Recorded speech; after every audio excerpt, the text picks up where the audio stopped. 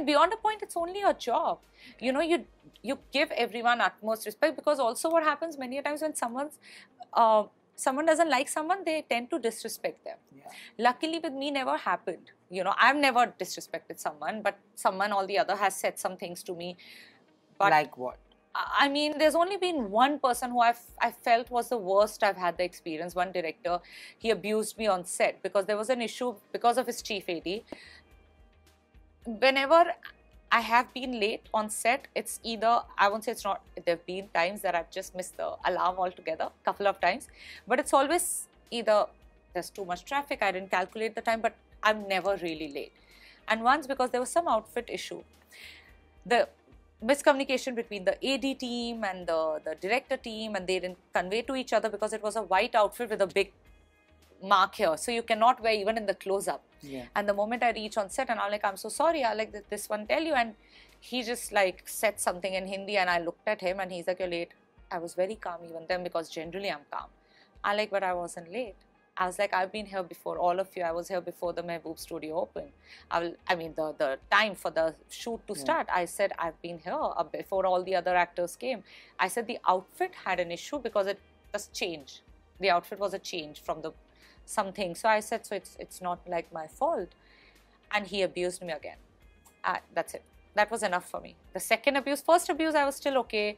It's a very Delhi lingo also, and my father's half Punjabi. So when I meet, my dad doesn't abuse at all. But when I meet his other cousins and all from Punjab, the way they talk, it's it's pyar me. You know, it's not a gali. So first time I took it, but the second time when he said, from there in the costume, I told him the same thing back. What he said to me, I was like, you know what, you are this. I was like, don't ever talk to me. I was like, don't ever disrespect me, You are Yeah, uneducated fool. I literally said that. I walked out straight from there. I still remember it was my first car I had bought at that time. That was the year I just sat, went straight from the Mehboob, removed all the rollers, everything. I sat in the car in the same dress, and I just went home. And then the the the the uh, EP of the film and the producers they had to call me and you know they're like we want to come meet you and apologize. I'm like no no no. The person who said it has to apologize. Did, did he apologize? Uh, he did after two days, and that's when I went on set. Otherwise, I won't have. Great. I think women should be like this. Actually, men and women both. Men and because women both. self-respect comes way before any, and uh, self-respect and dignity should come way before any profession, personally. but not anything. ego. A lot of people, Absolutely not You know, in ego. a, in a country, a lot of people, not in a country, but in in a country I've seen more because this is where Yeah. you live. This is your country. Yeah. People have a, you know, they they confuse ego and self-respect. Yeah, yeah, absolutely. So I really hope that people even get to know, yeah, that it's it's it needs to be self-respect, not that I'm. But you know, uh, also we live in a time when whenever it's it's a, it's almost sexist, if I'm not wrong. Whenever there are two heroines in a, they think jhagda hua hoga.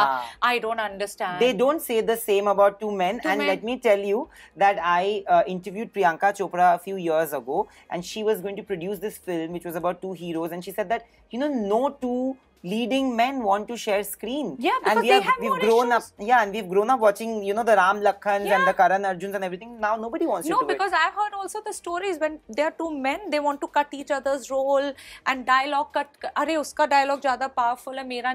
Honestly, on this, uh, like this set and I worked before. I worked yeah, yeah, absolutely. actresses before. So many. And my today, in fact, today has been nine years of Raaz. I worked with Bipasha. Oh my god, like at that time, I was so starstruck. I was so starstruck. Oh my god! And it's Bipasha as the epitome of hotness in that white dress coming out. That's true. And I met her, of course, I was a little jittery and all because just my second film, and second film also happened by chance because some actress walked out.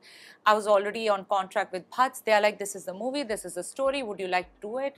I heard it was a amazing film, and me and uh, Bipasha were always there in the film. I said, of course. So it happened, and you know, you're just like, oh my god, no issues. Guess what? Yeah. Her team, she was so nice, and she taught me so much how stars should be her team actually her costume and hair because I didn't have a big costume. I, had the costume which was for everyone.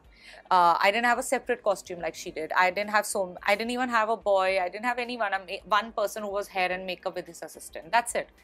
So we didn't know much because we were all new. And her team in one of the scene, like some outfit issue was happening. Like oh my god, major outfit issue. Either we don't shoot or someone needs to stitch. Who knows?